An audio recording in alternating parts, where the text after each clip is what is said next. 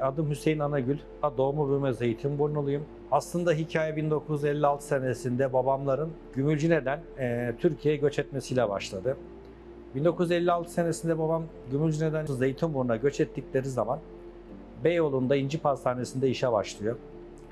Sırasıyla Görgülü Pastanesi'nde, tekrar İnci Pastanesi'nde 10 senelik bir pastacılık eğitiminden sonra 1966 senesinde Zeytinburnu'nda pastanemizi açıyoruz. İşte 1966'dan 2023'e kadar durmaksızın Zeytinburnu halkına hizmet etmekteyiz.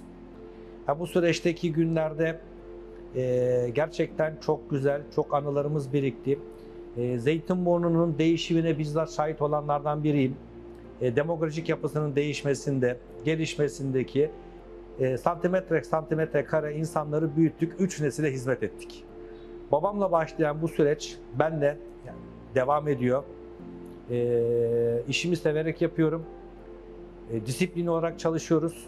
Yani kısacası esnaf benim anlayacağım şekilde mahallenin ağabeyi, mahallenin kardeşi, mahallenin babası, mahallenin dedesi.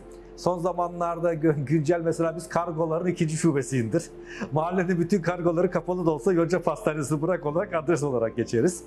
Ondan sonra mahallenin bütün evlerinin çoğu anahtarları bizde emanetçidir. Tatile giden evini bize, anahtarını bize bırakır. Bu çok güzel bir duygu. Bazı zaman hiç canım iş yapmak istemese bile dükkanı açıyorum.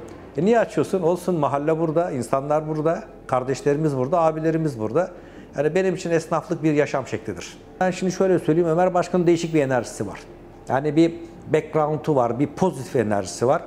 Babam için, rahmetli babam için yine burada bir anı defteri programı düzenlenmişti. O çekim yapıldı. Şimdi burada yapılan, şu anda sizin yaptığınız röportajları gerçekten Yonca Pastanesi'nin kurucusu, bu Yonca Pastanesi'nin bu hale gelmesinde çok büyük emek sarf eden, temellerimizi atan rahmetli babama ahdediyorum. Ruhu şad olsun.